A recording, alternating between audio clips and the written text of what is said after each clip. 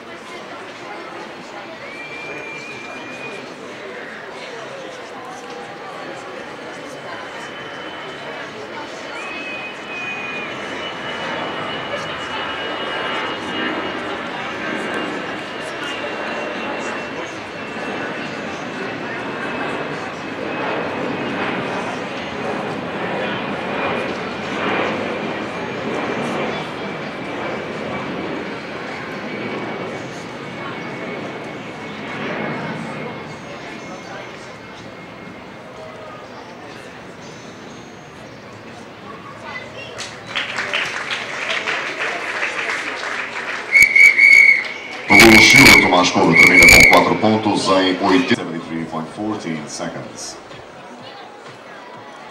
E já temos